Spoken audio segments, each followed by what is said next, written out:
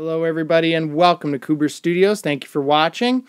Uh, today, I'd like to show you some of the behind the scenes footage and images from the making of A Billion Bricks. This is a large Lego setup and display currently being held at the Stamford Museum and Nature Center in Stamford, Connecticut. Uh, as you see, uh, myself, Bill Propert, uh, Rick Thoreau, and many of the other members of iLug New York all pulled together to create this large display and setup. What we did is we took these large tables and planned it all out on paper and screwed them together and then basically just built the display on top of it.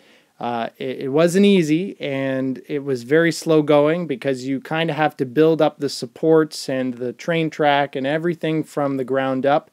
Um, Bill Propert, he's got basically the longest experience uh, doing this, and a lot of the parts are actually his. So uh, we all work together to make this happen.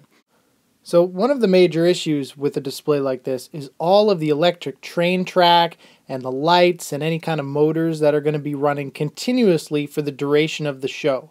So because we had to put our extension cord through this top ceiling uh, socket, Bill was determined to make this sort of tree of life uh, with monkeys climbing the extension cord in the middle of the model and he succeeded. This display was actually really special because it was the first time the group had taken the time to make underground themed boxes. So we have a little Teenage Mutant Ninja Turtles display, a, a subway car that goes around on a loop underneath, and uh, I contributed by building a Rock Raiders setup underneath one of the tables.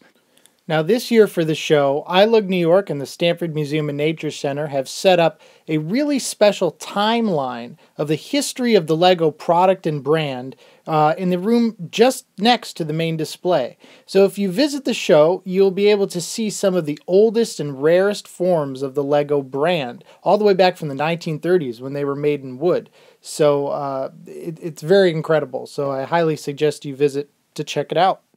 Last but not least, we're holding three special interactive workshops. First one is the Bendel Speedway. It's Saturday, January 18th. Then we have the Because Block Party. That's January 25th and 26th. And then Lights, Camera, Action, Lego Animation, which is my own workshop where I'll be teaching Lego animation.